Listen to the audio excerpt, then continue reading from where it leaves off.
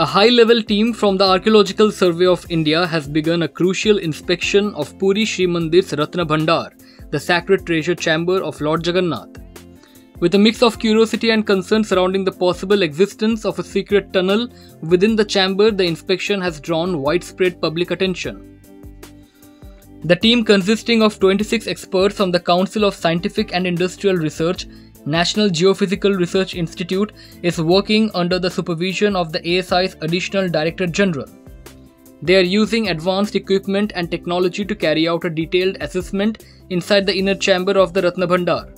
The inspection is expected to include a ground penetrating radar survey to detect any underground voids or hidden passages which have long been speculated about in local lore. To ensure the safety of the valuable treasures, including the gold ornaments of Lord Jagannath, all items were moved to a temporary strong room within the temple complex prior to the inspection. This inspection is especially important as it will pave the way for necessary repairs to the Ratna Bhandar, which has shown signs of structural damage over time. The findings could potentially uncover new aspects of the temple's history, adding to the rich heritage of Puri Mandir.